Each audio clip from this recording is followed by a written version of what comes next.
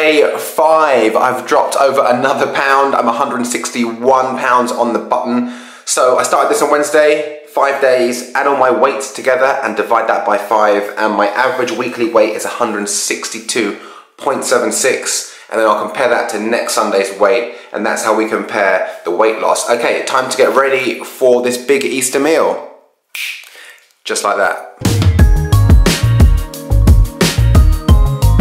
At the train station, got an hour and a half ride all the way from northwest London down to the suburbs southwest Surrey area. Even bought my own coffee in this really manly looking coffee holder.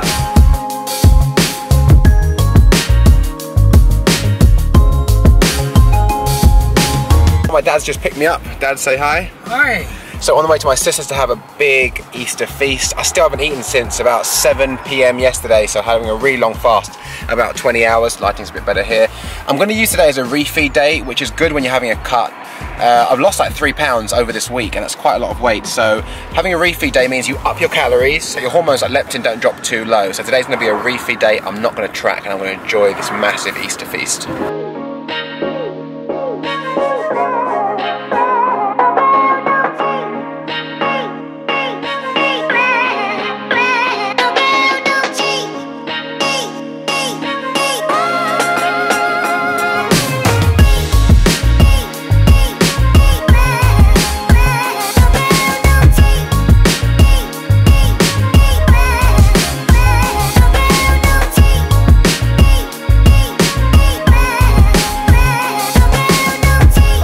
That looks tasty, doesn't it? Yeah,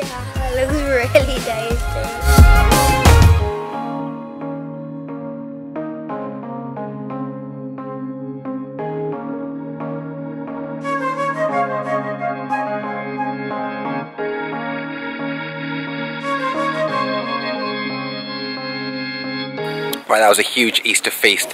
Not going to get a workout in, unfortunately, today, so I'm making sure I hit my 10,000 steps. I'm staying at my mum's tonight down here in Epsom, and then tomorrow I'm going to hit the gym and do a pull workout. So, no macro targets today, guys, because I didn't track macros. I'm only eating that one big meal. So, if you like the videos, please like, share, and subscribe.